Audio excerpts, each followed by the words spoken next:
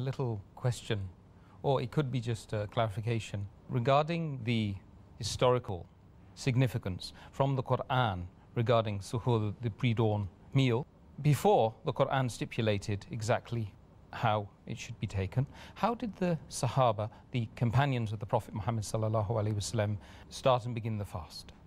Before the Quran gave the exact details of the timings of suhoor, etc., the Sahaba, the time of the Prophet, before the Quranic verse of Surah Baqarah, chapter 2, verse number 87 was revealed, they used to follow what was practiced earlier by the Ahl Kitab, by the people of the book. And that you get from various records, even from the Hadith, etc.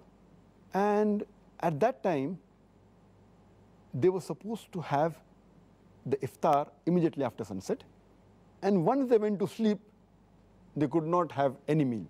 Then they had to fast the complete next day, and they could only have the meal next day after sunset. So this was a practice that was followed earlier.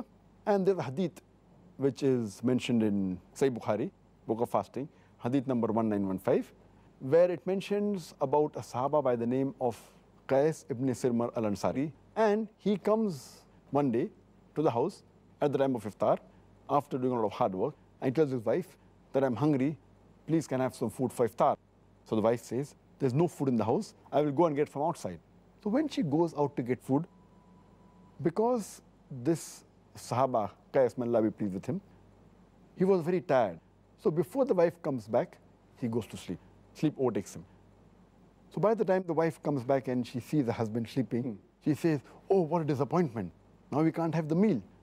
So when he gets up, next day he could not have the food and he had to fast the whole next day. And by the time evening comes, he faints. So they took the matter to the Prophet and told him what had happened.